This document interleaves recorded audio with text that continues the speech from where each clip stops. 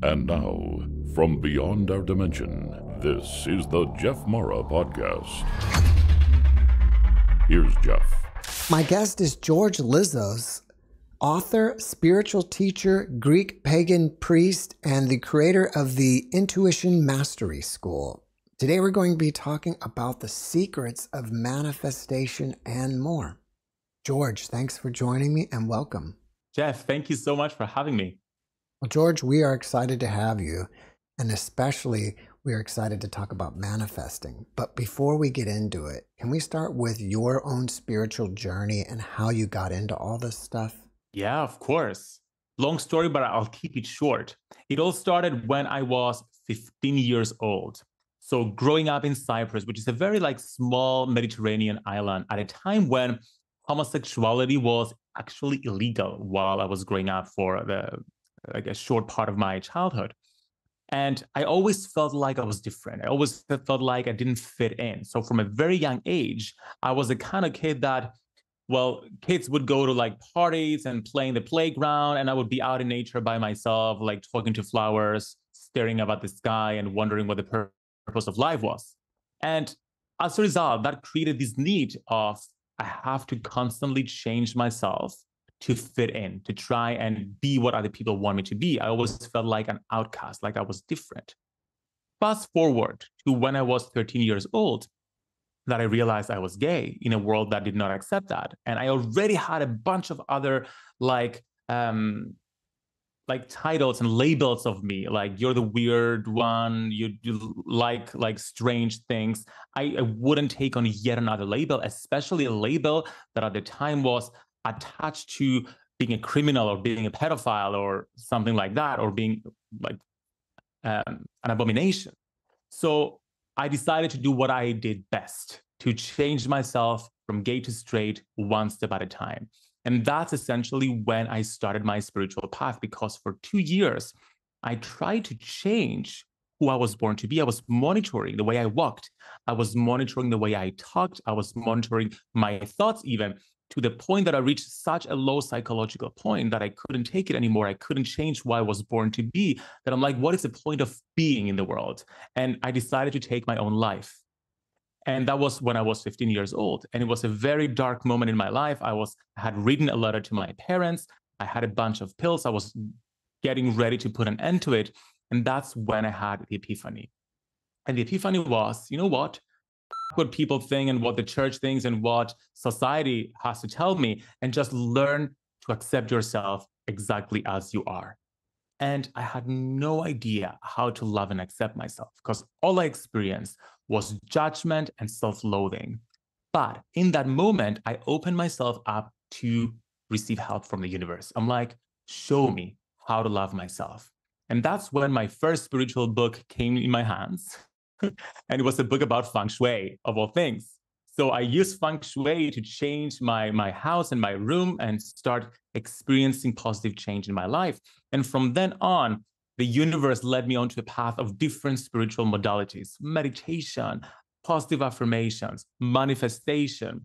Uh, and I, I started different spiritual traditions until eventually, uh, years later, I managed to love and accept myself and forgive my bullies and forgive forgive myself and decided and felt this strong urge how can i help people do the same how can i help people take whatever it is that they're using to prevent themselves from being happy and teach them how to find all the love and the acceptance and the support they need within them rather than depending on external factors and that's when i wrote my first book be the guru helping people become their own spiritual teachers, their own guru. And that led me onto a path of spiritual exploration that's reflected in all my books. Now, your newest book is called Manifestation Secrets Working with the Seven Laws of the Universe to Manifest Your Life and Purpose. What are the seven laws of the universe? So, ancient manifestation secrets, what I've done there is I've taken from the book the Kybalion. Now, the Kybalion, when you first need to understand what the Kybalion is before we can talk about the seven laws of the universe, because the Kybalion is not an ancient text, but it summarizes ancient Hermetic principles. Hermeticism is a philosophical school and spiritual tradition from late antiquity that combined ancient Greek and ancient Egyptian philosophy. And therefore, it talked about how we can work with the universal laws to create our life, to create purpose, how essentially the universe works. And even though the Kybalion is not an ancient text, it summarizes those laws, but it doesn't go into applying the laws. It just tells you these are the laws of the universe. How do we apply them? So, what I've done in Ancient Manifestation Secrets is I'm talking about the laws, simplifying them so that people can understand them, but then also teaching how we can go about and, uh, and apply them. So, let's talk about the universal laws. Firstly, we have the law of mentalism that says that the all is mind, the universe is mental. It's the idea that when we create something, it all starts with a mental thought, an intention, a mental image that we have.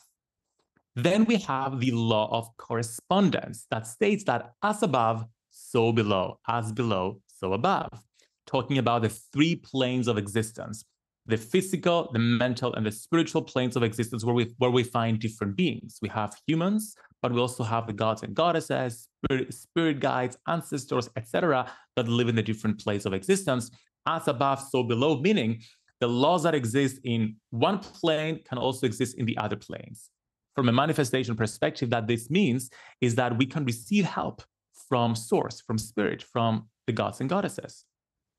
And then we have the third law, the law of vibration, which we know as the law of attraction. It's one of the laws of manifestation that everybody's talking about, but there are way more laws than just the law of attraction. Now, the law of vibration teaches that nothing rests, everything moves, everything vibrates. And therefore, whatever we want to manifest has a vibrational frequency that when we match, we can bring and attract into our lives. Then the fourth law is the law of polarity saying that everything is dual, everything has poles, everything has its pair of opposites. It's the idea that whatever we're feeling and whatever state we have in our life, let's say, for example, we're poor or we're depressed, okay, whatever it is that we are, whatever our current state is, we have access to its opposite because we're on this stick that has two poles and we're somewhere on the scale of the stick. And whatever point we are on this scale, we can move up the scale or down the scale to one pole or the other pole. And the poles are infinite and endless, meaning there is no limit to how happy we can be. And there is no limit to how fearful or depressed we can be because the poles are infinite. The fifth law is the law of rhythm, saying that everything flows out and in. Everything has its tides. All things rise and fall. Meaning, from these poles, there is this pendulum swing and life goes from one side to the other side not all the way to the to the end of the poles but it goes in in varying ways. We can see this with the economy. We go through a boom and then we go through a recession. We go through a period of peace and then we have wars. We have glaciers in the glacier period period and then we go through a time where there is no ice age. So everything in life including our own lives goes through these this um, this tide and these um, pendulum like swing. And then we have the sixth law, the law of cause and effect. That's most important when it comes to manifestation, saying that every cause has its effect, every effect has its cause. Meaning, for, for every manifestation and therefore effect, there have been a series of causes that created that. One of those cause, causes is the vibrational frequency that we have that's shaped by our thoughts and emotions but there are many other little known causes that not many people are talking about. And that was my aim with the book was to share those little known causes as well.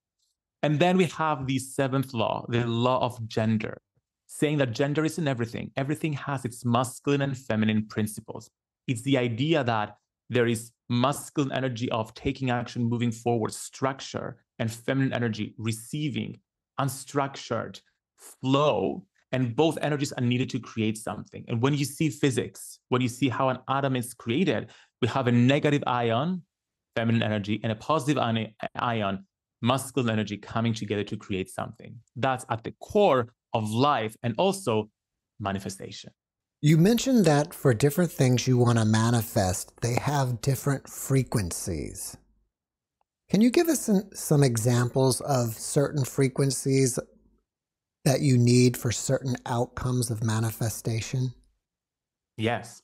So everything we are trying to manifest in our life has a frequency in the sense that, let's say, for example, I want to manifest. I can't believe I'm going to use this example again. I keep using this example. It maybe it means something for, for me.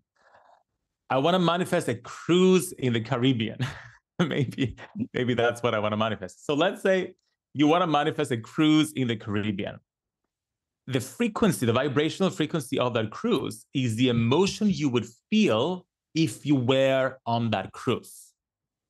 So if you think about, okay, right now I'm in that cruise in the Caribbean, and you allow yourself to go there with your imagination and you identify that emotional signature, that feeling, the exact feeling of how you would feel on that ship while you're taking that cruise, that is a vibrational frequency of that desire.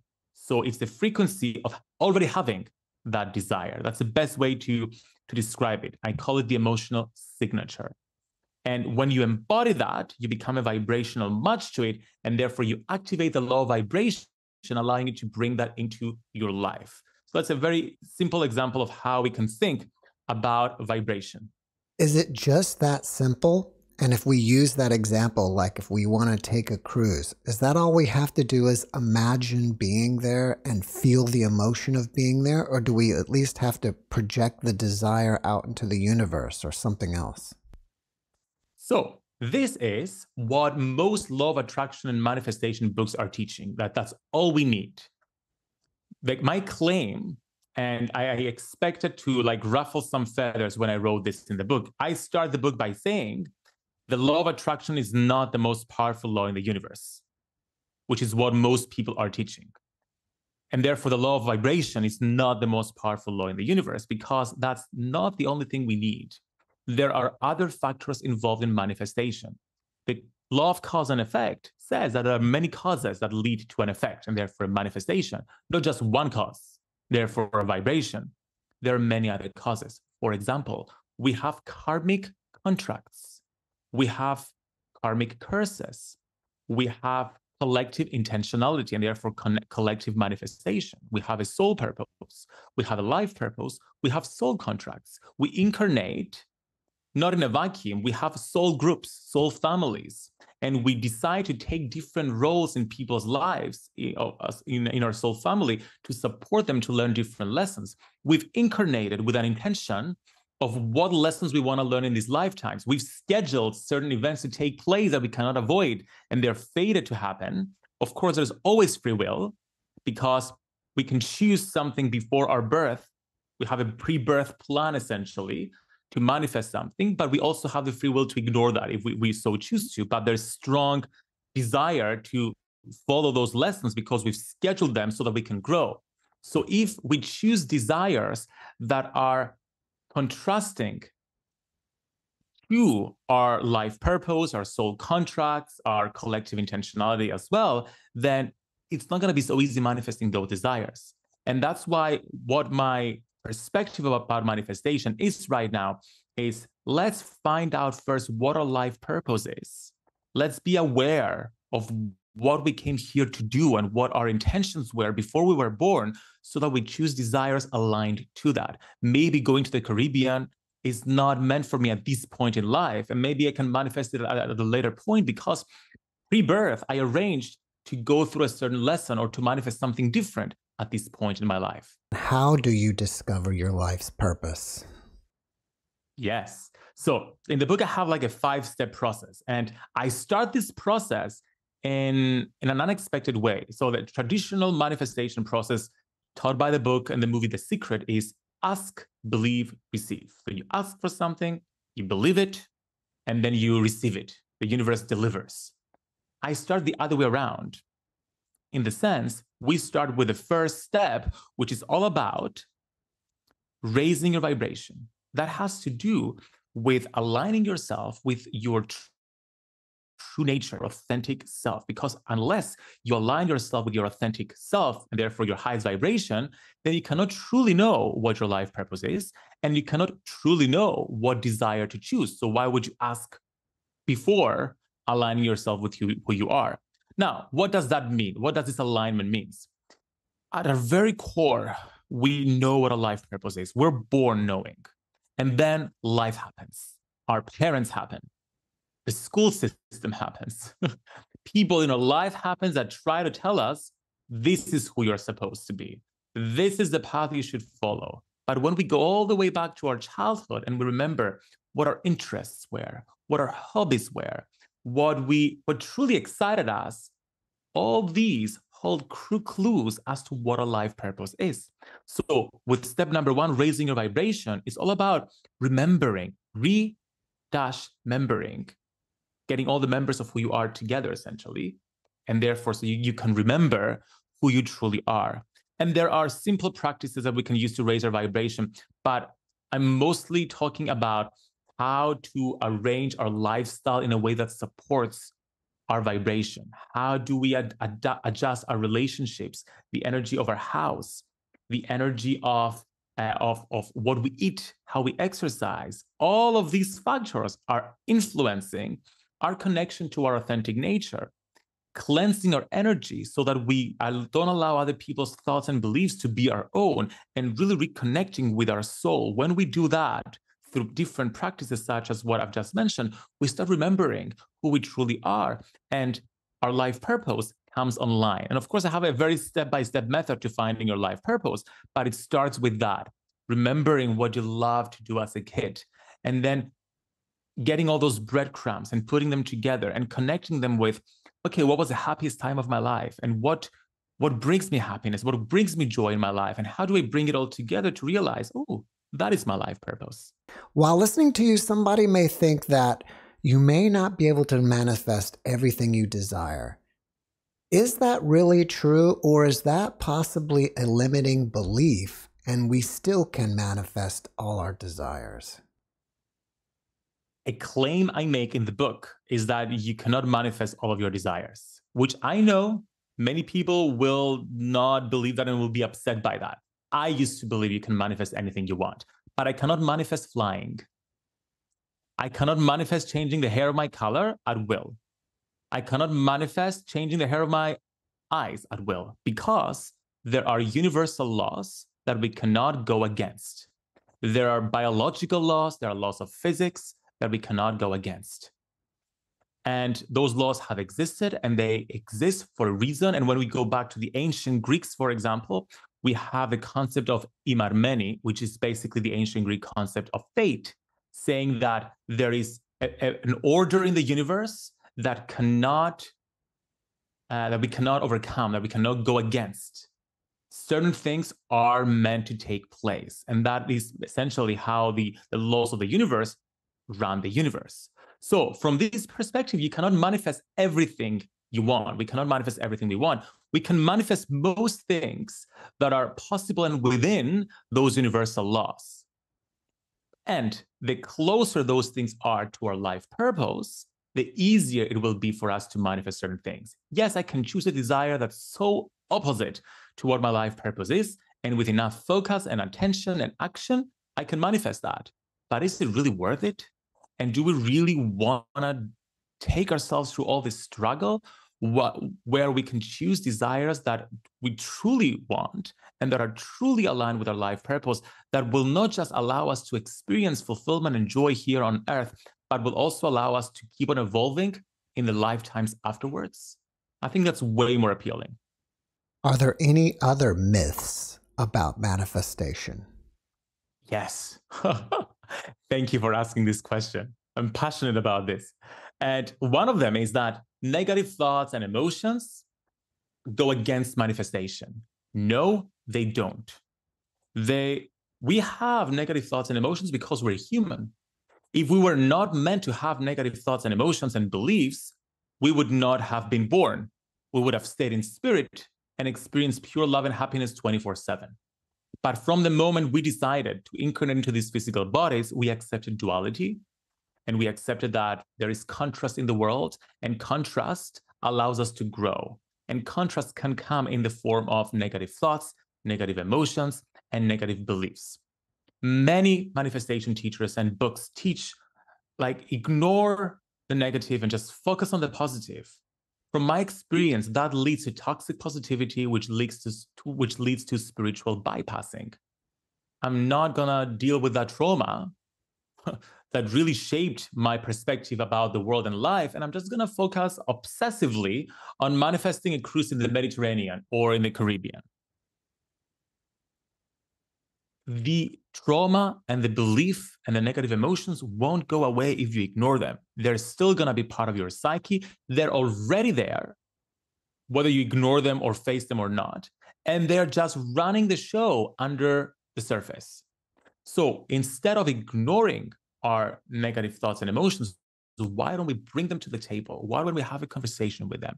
Why don't we acknowledge them and instead transmute them? So, in step number three of my process, it's called release your limiting beliefs.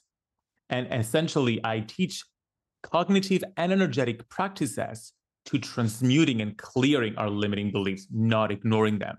And early on, I was really um, I, I felt the importance of educating myself with cognitive tools, not just energetic. So I have a bachelor, sorry, a master's in in psychology, and I train in trauma therapy, and I and I do a lot of cognitive work as well. And I brought one of those tools into this book. It's called Integral Eye Movement Therapy, and I actually took permission from the creator to include it. It's very similar to EMDR. Many people are familiar with EMDR, eye movement desensitization and reprogramming or reprocessing. I think it's reprogramming. And it's basically a tool used by psychotherapists to treat PTSD, one of the most effective tools. IEMT, which is integral eye movement therapy, is similar to that one and has to do with helping us shift our identity. When we say a phrase like, I'm not good enough, and we have a pronoun such as I, whenever we have pronouns such as I, me, myself, that means we've learned to identify as someone who's not good enough. And when you learn something, you can also unlearn it. So in this process, we identify the memories and the experiences in our lives that created those identity imprints, those beliefs, and then we use eye movements to essentially deprogram our mind. Of course, there are many tools we can use. Many people use journaling exercises, EFT tapping, or traditional therapy. So many tools you can use out there. I just wanted to bring in something new. There are two things that you spoke of that I'd like you to dig a little deeper into. And that is, or they are, what is toxic positivity and what are karmic curses? Ooh, juicy questions, Jeff. Thank you. So, toxic positivity is when we're trying to be positive when we're not really feeling positive.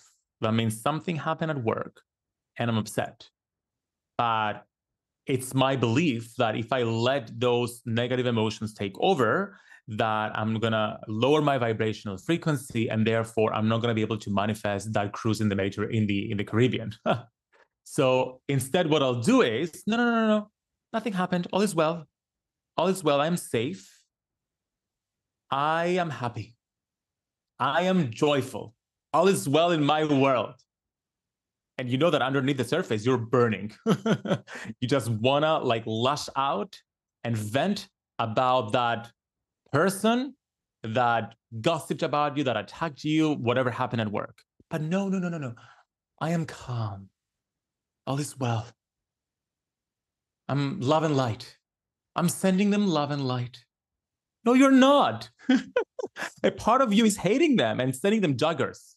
Okay but you're sending them love and light and you're breathing deeply and you're writing down your positive affirmations all is well in my world i am peaceful at work. That is toxic positivity. So what's really the best way to deal with that? Let yourself vent lush out get it out of your system and then once you've expressed that then you can make the shift into okay let's identify here why have i been triggered here? What is a deeper emotion here? What is the limiting belief that I may have here? Is it all them or could it be me as well? Is there a lesson here for me? Let me do some journaling about it. Let me identify that emotion. Have I felt that emotion before? When? Ooh, I was 10 years old when that emotion happened. Why? Because my dad did something similar that triggered me. Hmm, maybe this has to do with my dad triggering me in childhood. Hmm, let me do some eye movement therapy on that. This is how you actually do the work. This is how you don't spiritually bypass. This is how you're not positively toxic or toxically positive. So that's when it comes to toxic positivity. Let's talk about karmic curses. Karmic curses is a term that I used in my other book, Protect Your Light, which is all about energetic protection. And it's basically psychic attack that spans lifetime. Psychic attack is when someone sends an intense wave of negativity towards you, usually anger or jealousy, and or curses you, like ill wish, the evil eye, as we say in the Mediterranean. And you see the evil eye since the ancient times. There are ancient Greek vases that have the blue eye, the emoji with the blue eye, that is a symbol of the evil eye. And you have it in ancient Greek vases. That's because people believed in that ill wishing since the ancient times because it's true. Whenever we we feel anger or feel jealousy, we send that energy to the towards the other person. I call this psychic attack. A karmic curse is psychic attack that spans lifetime. It's someone ill wished you something in a past life, and that did not get cleared in the in between the lifetime state, and you carry that curse in your current lifetime, and therefore it's blocking your manifestation. So you can do energetic healing to clear and release that. Do you feel that you are a master of manifesting? And if so, can you share with us some of your own personal successes? I don't think anybody's a master of anything. I think we're all in a never ending journey of learning. I'm doing my fifth degree right now because I'm, I feel I, I never feel like I've learned enough. I'm like, okay, what more can I learn? But I feel that I've experimented with different manifestation practices for many years, and I've come up with a process that works for me, that works for my client, and hopefully I think will work for other people as well. I want to share the story of how I manifested this book, Ancient Manifestation Secrets, because it was with the process that I used in the book. Very meta how I did that. So I wrote that book in 2021, and it's only coming out now, 2024, because I actually went to Delphi in Greece and I channeled the practices in the book there. Part of the book is researched, it's the seven laws of the universe, but then I teach a brand new way of manifesting with the energy field by planting the desires in our energy field, nurturing those desires, and then manifesting energetically. So that is a later part of the book. But I was in Delphi, I channeled the practices, and then I'm so excited. I finished writing the book. I go to my publisher at the time, and I'm like, this is this is my my next book. And they rejected it saying it's too advanced. You're challenging too many things. People are not ready for this. Why don't you write a book about the greek gods and goddesses instead? So i went ahead and i wrote my book secrets of greek mysticism which was all about working with the greek gods and goddesses. But i'm like you know what? I'm not gonna let a publisher dictate when i'm gonna publish this book. I'm gonna find another publisher.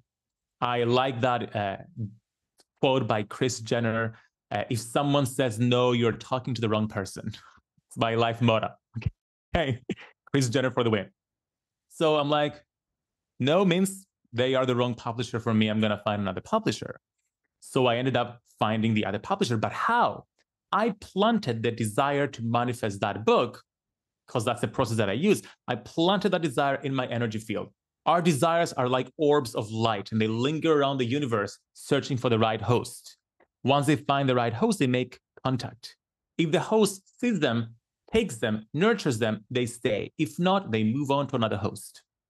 That desire came to me. I'm like, this book has to be manifested by me, not by somebody else. So I took that orb of light, planted it in my energy field, nurtured it with my own energy, connected it with energy cores to spiritual beings, to companies, to people, cooperative components that could come in and support its manifestation.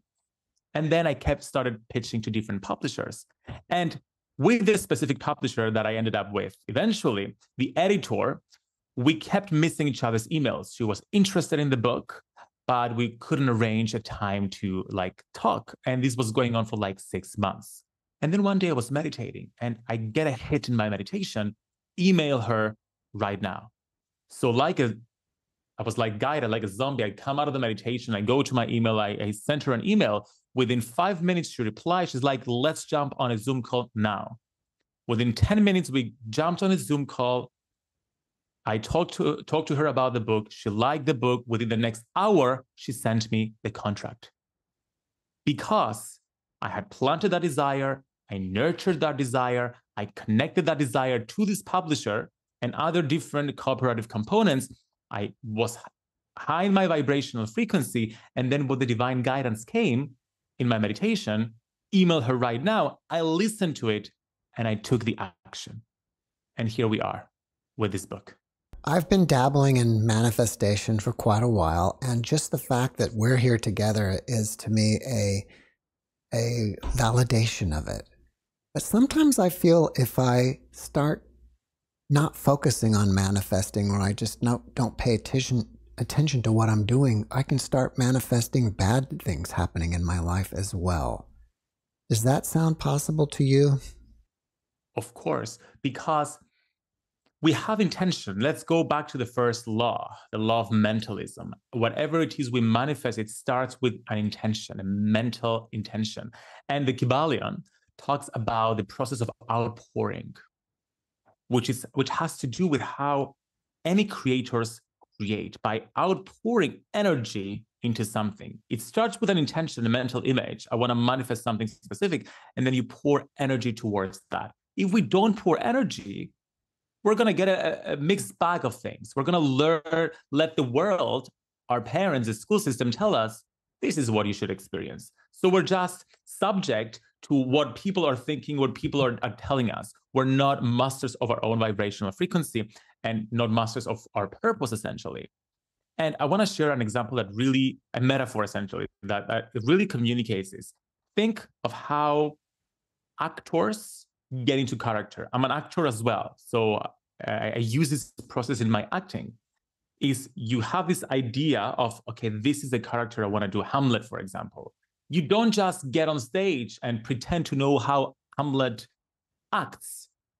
You do your research. You read the text, but you read about the history and the context and where was Hamlet and what was his, his background and what shaped the way he thinks about the world you start spend hours and hours thinking about okay how would Hamlet think and how would he move? What is the kinesiology like? How how is he thinking? How is he expressing? What is the quality of his voice and his movements? You outpour so much energy into that, so you get on stage and you are Hamlet for the duration, and then you get off stage and you're yourself as an actor. So you have a creation that's very real that to the audience seems oh oh my god he is that person. And you experience the emotion that that that that character is feeling. And then you get on stage and you're not that anymore. I think that that is manifestation at its finest and you can see that with authors writing books and creating different characters the characters exist in that book and the author becomes those characters that he's writing for the duration of writing because he's outpouring their energy into their creation but then also he's his own or she's or they are their own people, not just their character. So do you see what I'm talking about here? It's a co-creation. Manifestation is universal collaboration. It's the universe is not our it's not all about, oh, universe, this is what I want. Give it to me. No, no, no, no. We have to collaborate to bring our desires into manifestation. Are there certain limiting beliefs that many people have that you see over and over again? Yes. Number one is I'm not worthy. I'm not worthy to succeed. I'm not worthy to fulfill my dreams, or I'm not good enough, or I'm not ready yet. Oh, light workers, spiritual people in general love using that. I'm not ready yet. Uh, or um, my family will reject me. My friends will leave me because we have karmic contracts, not karmic karmic trauma in this case. We have past life trauma, the witch wound. Many spiritual people suffer from the witch wound. The idea that we've been persecuted in a past life for expressing our magic and for saying something um, that goes against the status quo, for example. I'm like, what if I get persecuted again? So this is something that's shared within most of the spiritual community, but everybody deals with I'm not good enough, I'm not worthy enough, and I'm not uh, ready enough to do something. And again, it has to do with the split that we experience as soon as we we incarnate into this world. Where we go from being these beautiful, perfect, all loving, pure spiritual beings, and then suddenly we have a physical body and we have a limitation, we have like an ego. Immediately that creates a separation from source.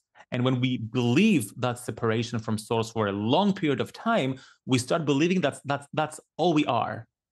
That's why we need our spiritual practice to remind ourselves that, yes, we are this physical body, but we're also more than that. And that bigger aspects of us comes in to tell us you are worthy, you are ready enough, you are good enough. If somebody wants to find out about your new book, should they go to Amazon or your website? Amazon is the easiest way to go. However, when you go to ancientmanifestationsecrets.com, which is a dedicated page for the book, I have a list of all the retailers. I mean, it's available everywhere books are sold, but I have uh, like the, the main retailer selling it. And when you get the book, you can also get a free workshop with me. It's a past life regression to retrieve manifestation skills from your past lives because we've lived past lives where we were master manifestors. So in that regression, I take people back to their past lives and retrieve those skills in these lifetimes. And it's available for free to anybody who uh, who gets the book. And all the details are in ancientmanifestationsecrets.com. How does the regression work? Is it like a meditation or what? Yeah, it's a one hour hypnosis regression. So one of the things I do is um, I'm, a regressionist. I'm a past life regressionist. So I take people to their past lives, not as a form of, of spiritual entertainment, but to heal traumas, retrieve skills, to find out what my life purpose was, what my soul family is, for example. And therefore, I'm using these technique that I've uh, that I've developed to uh, essentially create a transmission of skills, wisdom, and talents that we've mastered in our, in our past lives into our present lifetime. And this is based on the idea that we're not just our limited present life selves, we are our eternal self. And when we step into the identity of our eternal self, our soul, all the gifts and the talents and the wisdom we've amassed through our many lifetimes become available for us to use right now. What if somebody's really busy in their life? Are there any techniques or steps that they can do to still be able to manifest things? Yes. Oh, okay. I love teaching like manifestation, to, uh, like tips and, and tools for busy people. My favorite one, because I mean, let's face it, life is busy. We have so many things that come to us at all times, so many ways to to be interconnected with everybody. So we, we need to learn how to manifest on the go. My favorite tool that I teach in the book as well, I call them gratitude touchstones. These are short periods of time during the day where we practice gratitude. And gratitude is a beautiful emotion because it's a transmuting emotion. It allows you to transmute something negative into something positive, but also take, take something positive and amplify it. And I do, I do this practice three times per day in the morning, in the middle of the day, and at the end of the day, where I send a voice message to three best friends that I have. You can send them to one person. And if you don't want to send them to someone, you can send a voice message to yourself. But it's important that you speak this out loud, okay, to like give it more power. So I send a voice message to my best friend in the morning and I say what I'm grateful for in general, anything that comes up. And that again gets your day started in a in a, a positive mood. And you can do these while you're like putting on your facial creams, or while you're getting ready. You can have your phone and you can just say, I'm grateful about this, I'm grateful about that. When you're walking the dog, for example, it doesn't take a long time, it's three to five minutes. Middle of the day, you say, I send another voice message to another best friend. Yes, I got all my friends to do this. I, I sold them this idea, this practice, and they love it now. And I say what I'm grateful for so far in the day. This also gives me the opportunity, if something went wrong, to transmute it. Let's say, for example, I missed a deadline. I'm like, oh, even though I missed this deadline, I'm grateful that I had a longer lunch break because I truly needed it, for example. So it gives you the uh, opportunity to transmute whatever happened. But also, if something positive happened, you're like, I'm grateful that I had a wonderful chat with this colleague, blah, blah, blah.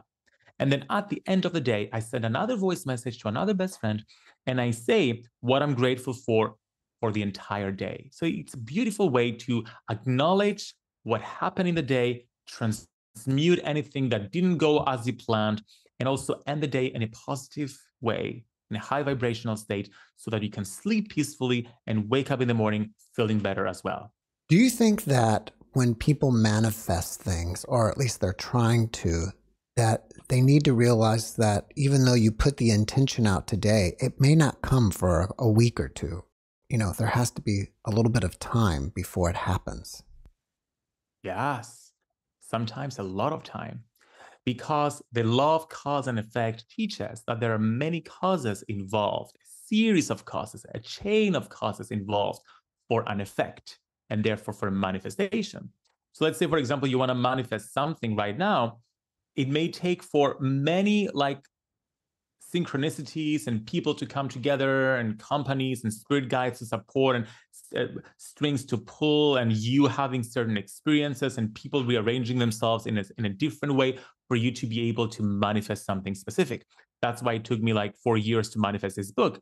Things had to happen in between little known causes that were I was not aware of that I now know exactly what they were of because I can see them for this book to manifest. For example, the reason this book ended up manifesting after my book about the Greek gods and goddesses is because my audience had to know about my perspective about the ancient Greeks before they were ready to understand the ancient manifestation secrets book that is about the Greeks as well.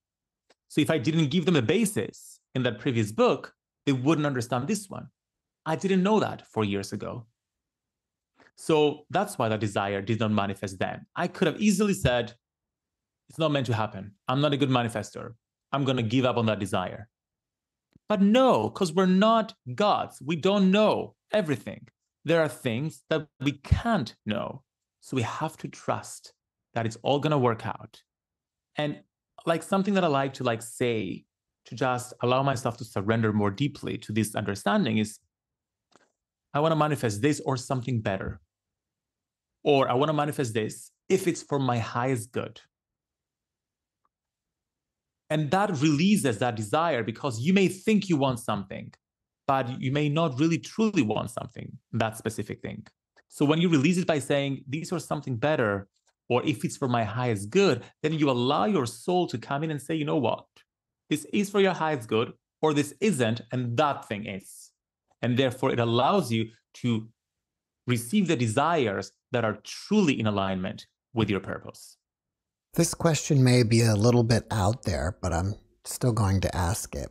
Since you're into ancient Greek mythology and the goddesses and gods, do you think that those goddesses and gods were actually extraterrestrials? I, I love out there questions. Let, let's, let's go there. So there's a difference between mythology and theology. So mythology draws from theology, but theology does not draw from mythology.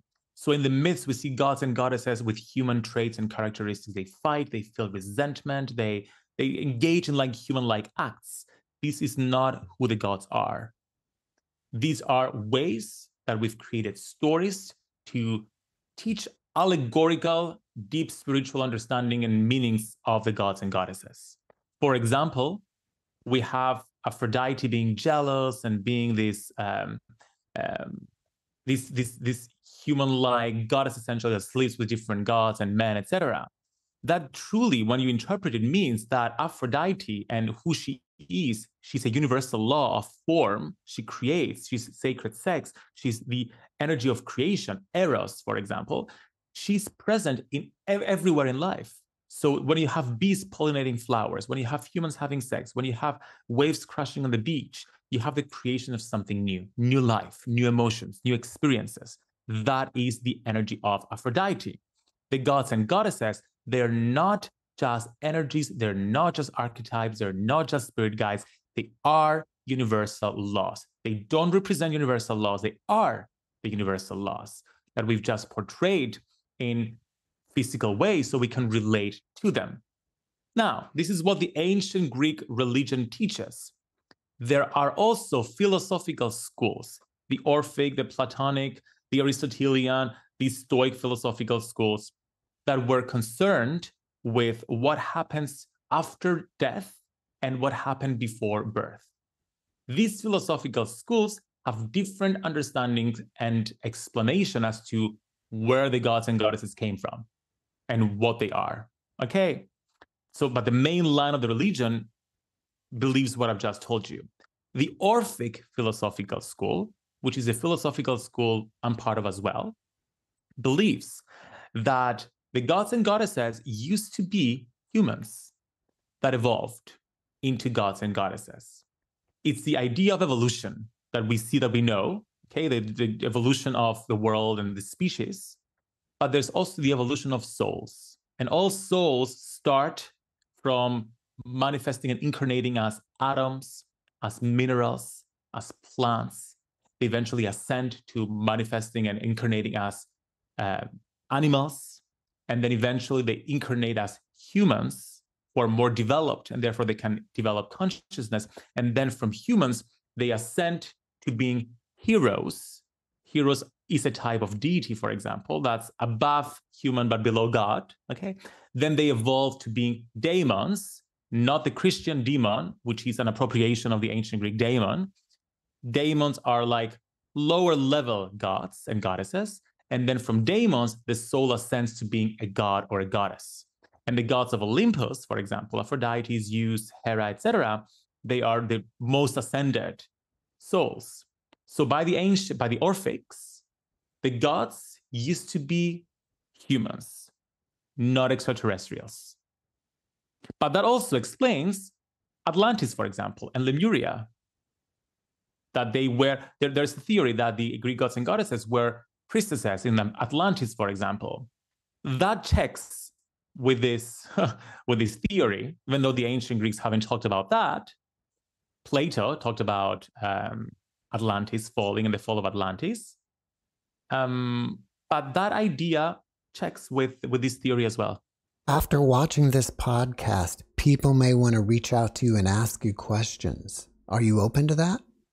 Oh, yes. Yes, please. You can message me, you can DM me on Instagram. That's where I live.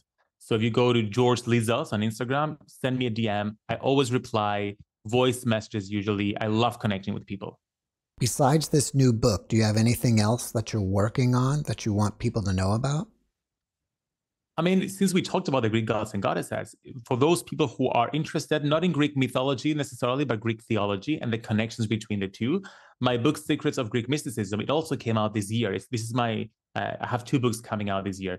This came out in April, and now we have the Ancient Manifestation Secrets. And I think of them as like sequels because they're interconnected.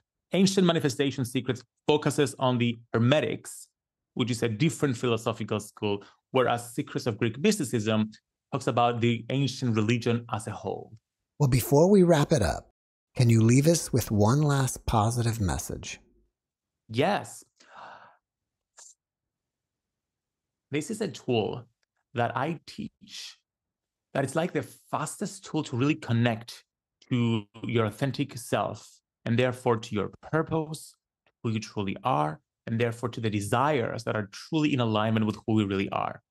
And several times throughout the day, I like to stop, pause, place a hand on my heart, and just say, wake up. And the intention behind saying wake up is wake up to your inner divinity, wake up to your purpose, wake up to who you truly are. Remember that you're not just a physical body, that you're beyond that. Remember that you have a purpose that you came here to fulfill. Remember that in this moment you're aligning to this purpose. It's a simple intention. Wake up to wake up your true essence. And when you do that and you feel that and you feel that connectedness, you no longer ask, What is my life purpose? And what desires should I manifest? You already know and you're already following them.